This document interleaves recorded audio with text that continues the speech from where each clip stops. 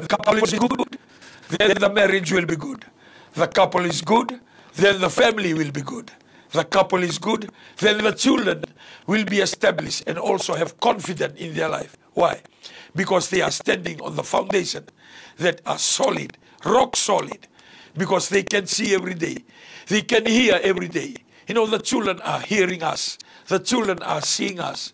And even if we uh, hold position in the community, we hold position in the church, or maybe we hold position in, uh, in our workplace, everybody that uh, reported to you, they are also watching. Their eyes are also watching. And they are watching us parents. Parents in our workplace, parents in our society, parents in our church, or parents in our, in our home. The couple means miracle that will call blessings into family. When the couple uh, continue to agree in Psalm 133, see how wonderful eh, and how marvelous when people come together in unity. That unity is the unity that we talk about in marriage. In marriage, nothing else can put us together. Nothing else can um, uh, join us together. And nothing else can, uh, can make us more agree than any other thing. It is the love of God. It is the word of God. When we're standing on the solid ground of God, and that is His word, then the marriage or the couple or the relationship will be sound and rock solid. Why? Because we are standing on the word of God. Things may pass away. Jesus said, Heaven may pass away, heaven may pass away, or hell may pass away, or the earth may pass away, or spiritual thing may pass away, but the word of God will remain forever. In Mark chapter 13, verse 31, the Bible says, Heaven and earth may pass away, but every word that I speak will never pass away.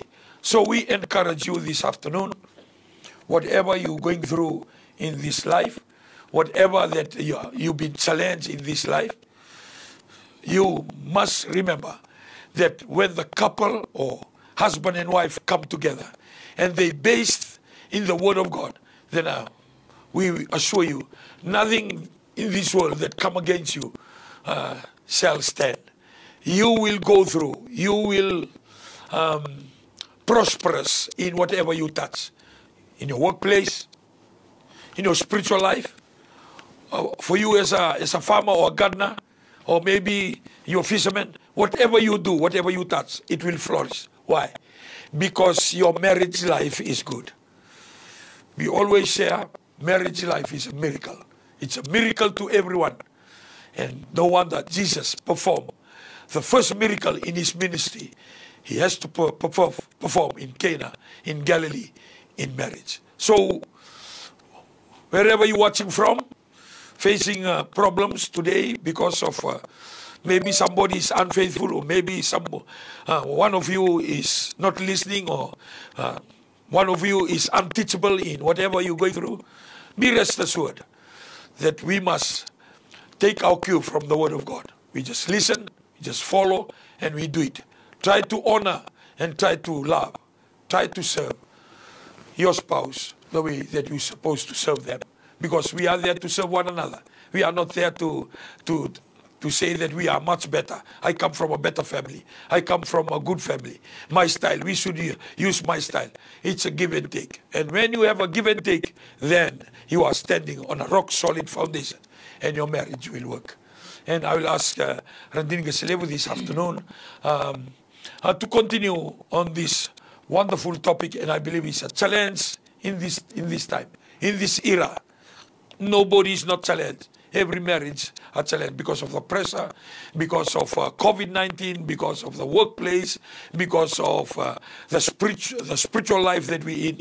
Every mar marriage will be challenged.